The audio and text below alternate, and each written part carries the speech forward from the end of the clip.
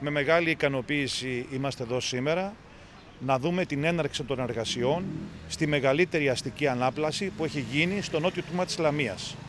Το έργο ονομάζεται Ολοκληρωμένο Σχέδιο Αστικής Ανάπλασης Νοτιοδυτικού Τμήματος της Λαμίας. Περιλαμβάνει μια παρέμβαση πολύ μεγάλη σε 92 στρέμματα, από τα οποία 52 είναι ποδηλατόδρομοι και 40 είναι πεζοδιαδρομές. Περιλαμβάνει επίσης τη δημιουργία κυκλικού κόμβου ε, στην Κύπρο και Αθηνών, ένας κόμβος ο οποίος θα συνδέσει την κάτω πλευρά της πόλης με τις υπόλοιπες λειτουργίες της πόλης.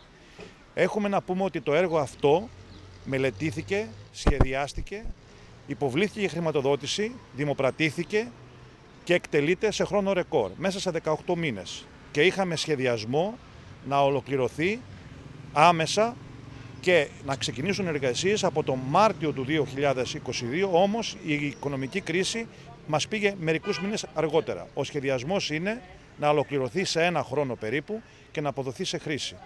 Ζητάμε την κατανόηση όλων των διερχομένων αλλά και των παρόδιων γιατί θα έχουν μια όχληση η οποία θα είναι σημαντική όμως τα αποτελέσματα όταν δοθεί σε χρήση αυτό το συγκεκριμένο έργο θα είναι ευεργετικά για την πόλη μας.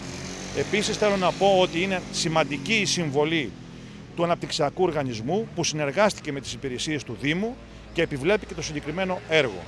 Είμαστε στα πλαίσια ενός σχεδιασμού έργων να γίνει καλύτερη ποιότητα ζωής όλων μας και να αλλάξει η πόλη μας.